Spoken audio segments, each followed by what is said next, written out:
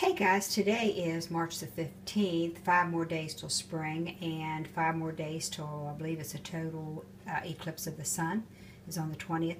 Uh, so anyway, here is clover sprouts and these are three days old little clover sprouts and I have started these with LP in mind because he's had so much uh, trouble with inflammation. So he's got a, a really pain in his upper legs uh, that may be inflammation in his upper leg. So uh, this is supposed to be good for that.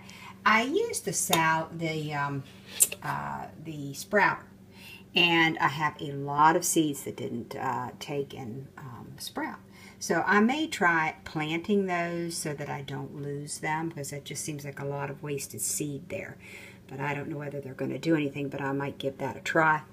So there is the pea sprouts uh, this is five days for those, and we've eaten we've eaten a, a few days on those. And their areas, it, it, they have some green uh, coming on those in five days. And here's the garbanzo beans or the chickpeas. Have a nice uh, little sprout on those. Oh, there's the clover seeds that weren't doing too well in the bottom of the sprouter. I'm going to try about a fourth of a cup of unsoaked clover uh, seed to finish out this tray.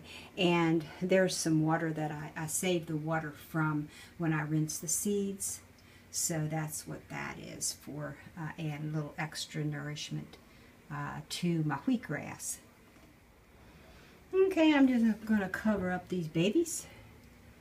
And I'm going to water them first and cover them and they'll be good to go, hopefully.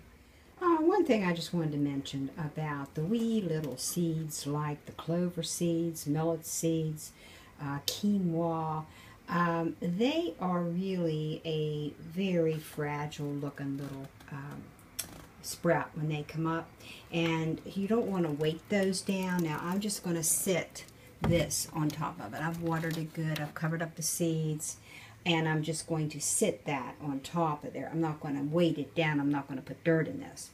But um, like wheatgrass, uh, wheatgrass, supposedly, if you had time to just stand on it till it grew, um, it is so strong that it would actually lift you up. Uh, so you weight it down. So um, I, whenever I start out the wheatgrass, I'll have the dirt in uh, in it to weight it, uh, dirt in another pan on top of here to weight it down. And then whenever it starts to push it up the, uh, the dirt and the pan, then you take it off. Um, so I've been using the water from the seeds that I soaked on this, and it's really looking good. It's really looking healthy. So that might have just given a little bit of extra um, nutrition in there. Uh, so um, I learned the hard way about the wee little seeds and the wee little tender, um, like the quinoa, and I tried to weight it down. Now the sunflower seeds and the wheatgrass, those need the, the weight on them. They're much stronger. Uh, so as time progresses, I'll have a little more idea of which ones that can be weighted down and which ones can't.